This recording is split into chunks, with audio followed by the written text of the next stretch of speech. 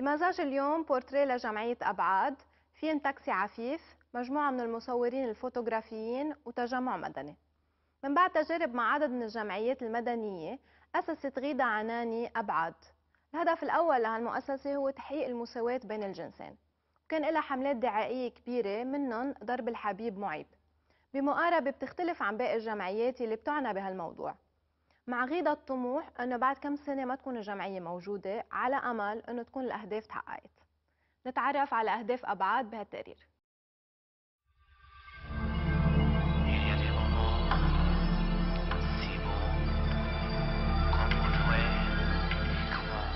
مصطلح أبعاد أو تسمية أبعاد إجت لأنه نحن بنعتبر إنه كل شيء بالحياة له ابعاد يعني إن كان الكلمة اليوم أنت لها ابعاد حسب مين عم بيقولها وكيف عم بيقولها والإطار اللي هي فيه. المشاكل لها أبعاد. يعني اليوم أي مشكلة معينة ما لها نتيجة وحدة أو أثارها منها هي وحدة.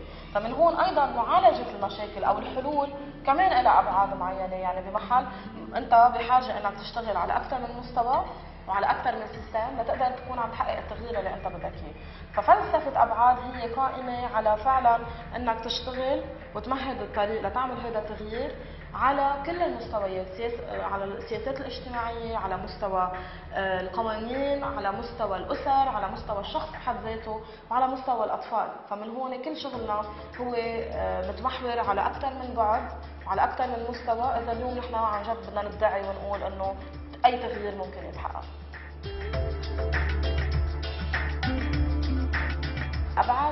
هي مؤسسه مدنيه آه، غير طائفيه وغير سياسيه وغير ربحيه آه، وهدفها احقاق المساواه النوع الاجتماعي أو المساواه بين الجنسين اللي هي شرط اساسي من شروط التنمية على مختلف أبعادها.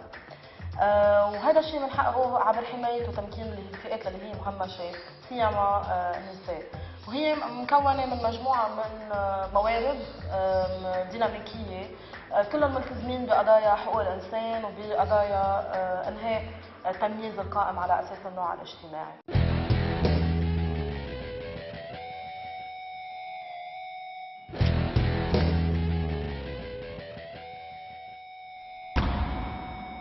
جاهزين شباب؟ إيه جاهزين بدنا نفرجيها كيف بيكونوا رجال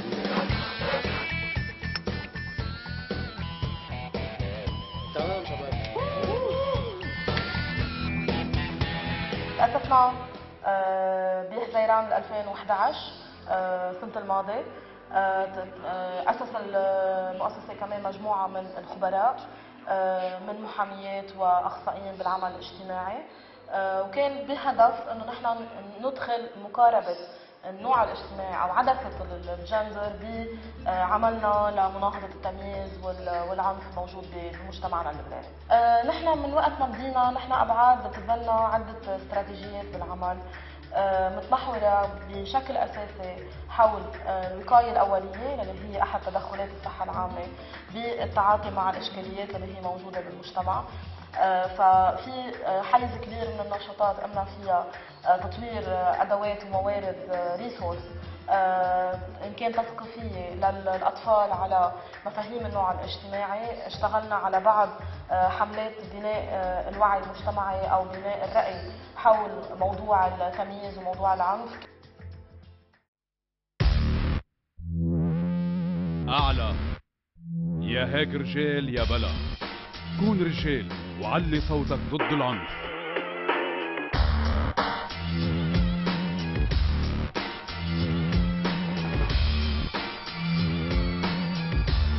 أبعاد بتعكس أبعادي أنا بتعكس أبعاد المجتمع. آه، التغيير كان بالنسبة لإلي مستحيل يعني أو بالأحرى كان كان صعب بس مش مستحيل. يعني هون لقيته هون عم بتصير عم لاقيه مش مستحيل. عم تتغير عم تتغير شوي نظرتي للمجتمع خصوصا بمطرح لما نلاقي هالقد في السيستم راكب بطريقة قوية. كيف فينا نخرق؟ بهيدا المطرح بحس إنه الخرق صار ممكن. آه بيجاوب على كثير من القضايا اللي بآمن فيهم على التزاماتي بالحياة على التزاماتي بال بال بال بالقضايا اللي بتمسني أنا كشخص كامراه بهذا المجتمع وبتمسني ك ك يعني ك كمواطنة كمان بهذا بهذا البلد بتمسني كصبية ك يعني كفئة من هذا الشباب يلي عنده كثير طموحات وعنده كثير حلم بالتغيير. يمكن من من وقت تأسيسنا لليوم آه، خليني على الأقل اني أقول أنه الناس كثير عم تتلقى في آه، بإيجابية المقاربة اللي عم تجرب أبعاد اليوم تضيفها على الحراك المجتمعي اللي هو موجود. آه، إن كان من الأشخاص اللي حابين يدعموا المؤسسة يدعموها من ناحية تقنية ولا من ناحية مادية؟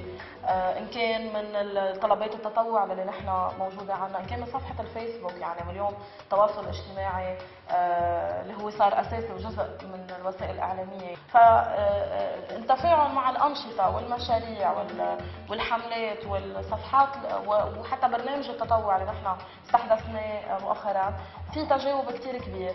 آه، خليني أقول ولكن التأثير الشيء اللي نحن عم نجرب هلأ نعمله بالمجتمع. هذا الشيء ما حنقدر نشوفه إلا يمكن بعد عده سنوات لأنه التغيير بياخذ وقت.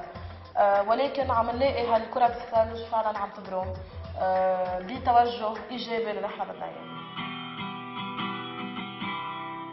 درب الحبيب معيب.